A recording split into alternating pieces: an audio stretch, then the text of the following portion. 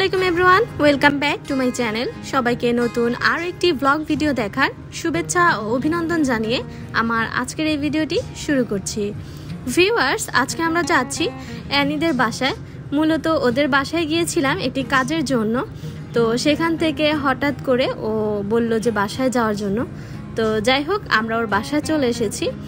তো এই তো বাসে এসেছি, বেশ কিছুক্ষণ হয়ে গেছে।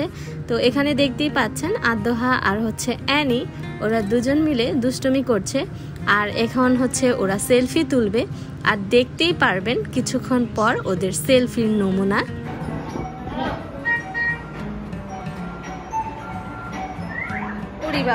সেলফি তুলে হাসো মামি হাসো, স্মাইল। স্মাইল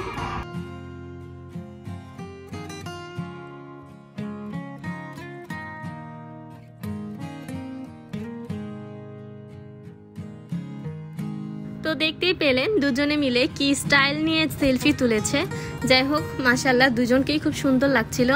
তো আমরা যে আজকে ওদের বাসায় আসব, সেটা আমাদের কারোরই তেমন জানা ছিল না। অ্যাকচুয়ালি আদহার বাবার একটা কাজের জন্য ওর হাজব্যান্ডের কাছে গিয়েছিল দেখা করার জন্য। তো সেই সাথে আমিও একটু গিয়েছিলাম গ্রোসারি মলে তো ওই সময় যাওয়ার পথেই আদহার বাবা বলল যে, চলো তাহলে একসাথেই যাই। তো সেই ক্ষেত্রে গিয়েছিলাম, ওদের মানে বাসার কাছাকাছি গিয়েছিলাম। তো এরপর ওর হাজব্যান্ড বলল যে, বাসার নিচে এসে না হয় যে কাজটার জন্য গিয়েছিলাম, সেটা যেন করে আসতে পারে।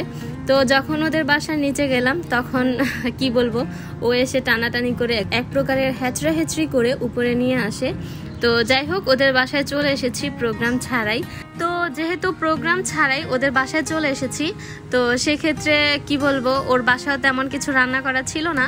তো ওর হাজব্যান্ড বলল, যেহেতু এই সময় চলে এসেছ, অ্যানি বলছিল যে আজকে একটা কাজ করব। আমরা দুই বান্ধবী বসে থাকব আর ওরা দুইজন মানে আমার হাজব্যান্ড আর হচ্ছে অ্যানির হাজব্যান্ড এই দুই ছেলে মিলে আমাদের জন্য রান্না করবে আর আজকে আমরা গল্প করব আর ওদের রান্নার খাবার উপভোগ করব। তো এই কথা শুনে আমি বললাম যে কি বলিস, ওরা রান্না করবে। পরে বলল হ্যাঁ চল, আজকে আমরা বসে বসে গল্প করব আর দেখি তোর হাজব্যান্ড আমার হাজব্যান্ড দুজনে মিলে রান্না করবে। অনেক মজা হবে। সব সময় তো আমরাই রান্না করিয়ে খাওয়াই। আজকে না হয় ওরা আমাদেরকে রান্না করে খাওয়াক। তো এই ব্যাপারটা আমার কাছেও ভালো লেগে যায়, যার জন্য আমি বলি আচ্ছা ঠিক আছে। তো এরপর দেখলাম ওর বাসায় কিছুই নেই মানে বাজার সদায় কিচ্ছু ছিল না।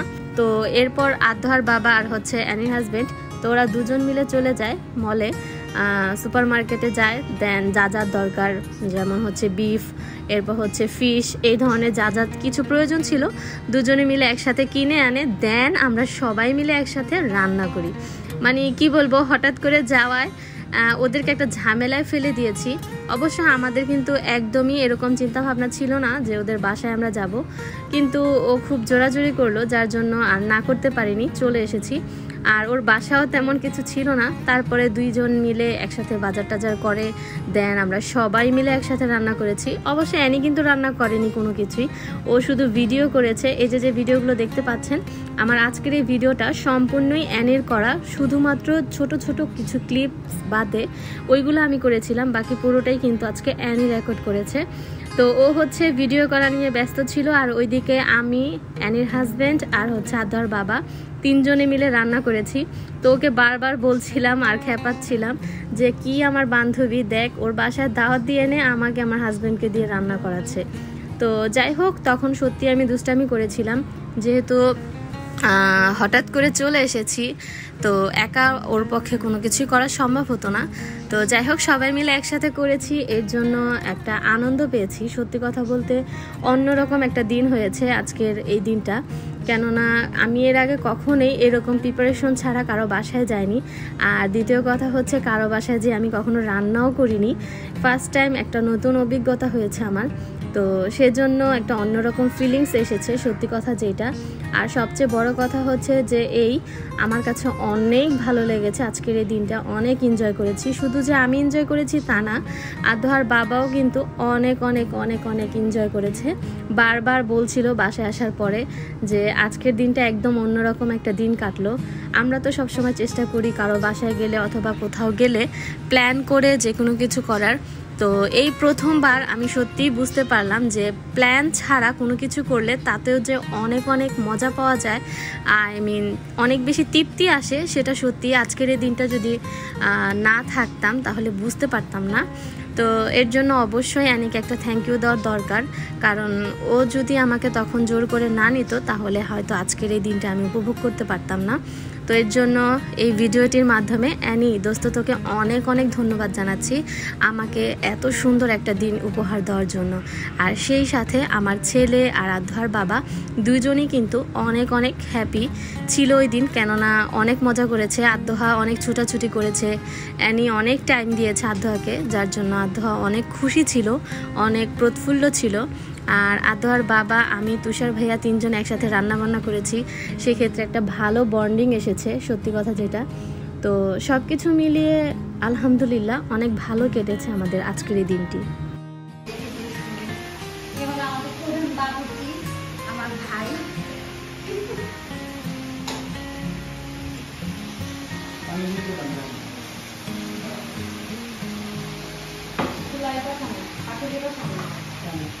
আরে ভাই এই কথা আরও তুমি এদিকে ভাই নাও আমাকে দেখো আরও ও মানে চুলা থেকে পাতিল সরাই ফেলা পাতিল সরাই চুলা থেকে গানতে হচ্ছে যাকে দেখে সুন্দর ভিডিও হয়েছে।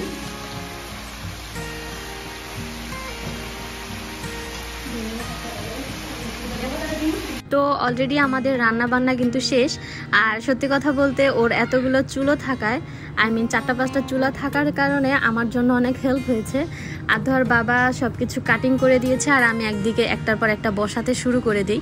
যার জন্য বেশি একটা সময় লাগেনি, প্রায় আধা ঘণ্টা পঁয়তাল্লিশ মিনিটের মতো সময় লেগেছে আমাদের সব কিছু রান্না করতে।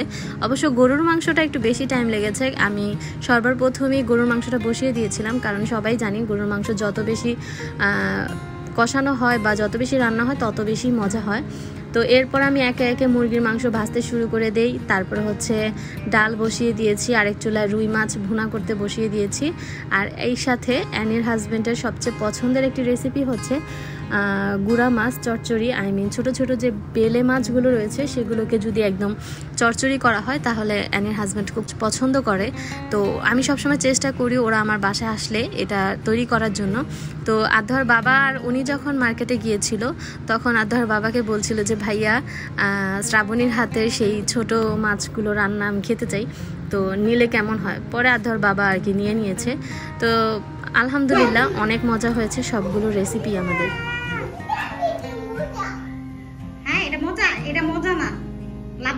এটা ভালো লাগবে না। লাভ দাও। হুম। হুম দাও।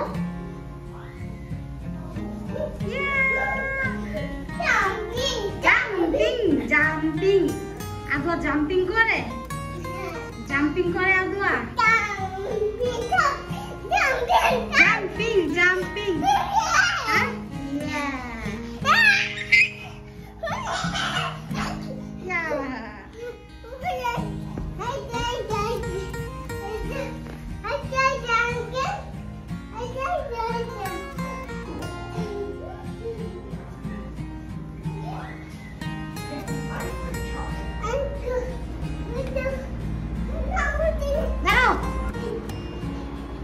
Happy?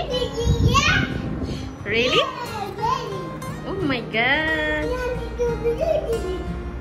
আমার যদি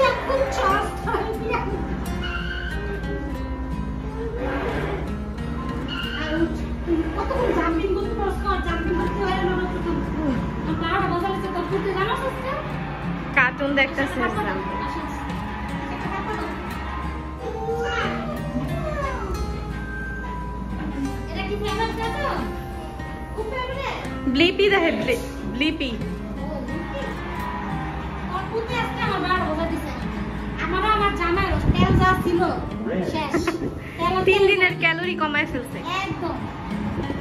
আমি তারপর না না খেলতে খেলতে। তারপর খেলব। ওইদিকে আদ্যহা আর অ্যানি দুষ্টামি করছে আর এইদিকে এই তো আমার রান্না প্রায় শেষের দিকে। মাশাল্লাহ গুঁড়া মাছটা একদম আমি পোড়া পোড়া করে ফেলেছি। আই মিন ঝোলটা পুরোপুরি আমি শুকিয়ে ফেলেছি। আর এই তো, এটা হচ্ছে গরুর মাংস, দেখতেই পাচ্ছেন মাসাল্লাহ লুক কিন্তু অনেক সুন্দর হয়েছে আর খেতে আলহামদুলিল্লাহ অনেক ভালো হয়েছিল। তো এখন হচ্ছে আমি সব কিছু সার্ভ করব। আসলে কি বলব, অ্যানির বাসায় এসেছি, কাজ করতে করতে আমার জীবন শেষ। ও কোনো কিছুই করেনি, একদম রান্না করা থেকে শুরু করে সার্ভ করা পর্যন্ত সব কিছু কিন্তু আমি করেছি, তুষার ভাই আর আধ্যার বাবা। সো অ্যানিকে একদমই আমি এই রান্না বান্না করে খাওয়ানোর জন্য আমি একটা বারের জন্য ওকে কিন্তু ধন্যবাদ দিব না। কেননা ও আমাকে দিবে। আমি ওকে সব কিছু রান্না করে খাইয়েছি। আমি আমার হাজব্যান্ড আর হচ্ছে তুষার ভাইয়া। সুতরাং আশা করছি অ্যানি অ্যানির ভিডিওর মাধ্যমে আমাকে, আমার হাজব্যান্ডকে এবং কি ওর হাজব্যান্ডকে ধন্যবাদ জানাবে। আর হ্যাঁ ওর ভিডিওটি দেখার জন্য অবশ্যই ওর চ্যানেলে ভিজিট করে আসবেন। আশা করছি আপনাদের কাছে ভালো লাগবে। কেননা ও সবসময় খুব সুন্দর সুন্দর ভিডিও আপনাদের কাছে শেয়ার করার চেষ্টা করে। তো আপনারা যারা আমার রেগুলারলি দর্শকরা রয়েছেন, তারা অবশ্যই অ্যানির চ্যানেলে একবার ঘুরে আসবেন। আশা করছি আপনাদের কাছে ভালোই লাগবে। আমি আমার ডিসক্রিপশন বক্সে ওর চ্যানেলের লিঙ্ক দিয়ে দিব। অবশ্যই অবশ্যই আপনারা একবার হলেও ঘুরে আসবেন।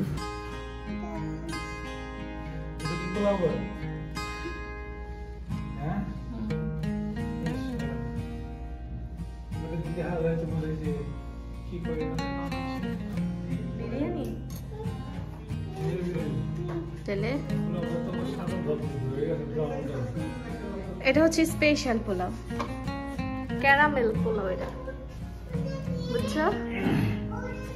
ইয়াল্লা! ইয়াল্লা হাবিবি। তো এই তো কি কি রান্না করলাম সেগুলো এখন আপনাদের কাছে শেয়ার করছি।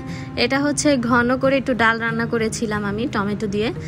দেন এটা হচ্ছে গুড়া মাছের সেই চচ্চড়ি বা ছোট মাছ, রান্না যেটা। তারপর হচ্ছে পোলাও, আর পোলাওর খুবই ইতিহাস রয়েছে, সেটা নাই বললাম। আর এইদিকে হচ্ছে রুই মাছের ভুনা, আর সেই সাথে রয়েছে মুরগির মাংস আই মিন চিকেন কারি আর ওই পাশে হচ্ছে গরুর মাংস। তো এই ছিল আমাদের আজকের রেসিপি তো আলহামদুলিল্লাহ। যতটুকু সম্ভব হয়েছে ততটুকু করার চেষ্টা করেছি, আর এর মধ্যেই আমরা আমাদের তৃপ্তি খুঁজে পেয়েছি আই মিন আনন্দটাকে খুঁজে পেয়েছি। আসলে যে কোনো কিছুই খাওয়া দাওয়া বড় কথা নয়, সবচেয়ে বড় কথা হচ্ছে আনন্দময় সময়টা পার করা তা আলহামদুলিল্লাহ খুবই ভালো একটা সময় পার করেছি আজকের এই দিনটাকে। তো আমরা এখন খাওয়া দাওয়া করব আর আপনাদের কাছ থেকে আমি এখানেই বিদায় নিয়ে নিব। যারা কিনা এখন আমার চ্যানেলটি সাবস্ক্রাইব করেননি, তারা অবশ্যই আমার চ্যানেলটি সাবস্ক্রাইব করে পাশে থাকা বেল আইকনটি অন করে দিবেন। আর হ্যাঁ সেই সাথে ছোট্ট একটি কমেন্ট করে জানাবেন কেমন লাগল আমাদের আজকের এই ব্লগটি। তো আজকের মতো এ পর্যন্তই। সবাই ভালো থাকবেন, সুস্থ থাকবেন। এই শুভকামনা। আল্লাহ হাফেজ। কেমন হয়েছে পোলাও?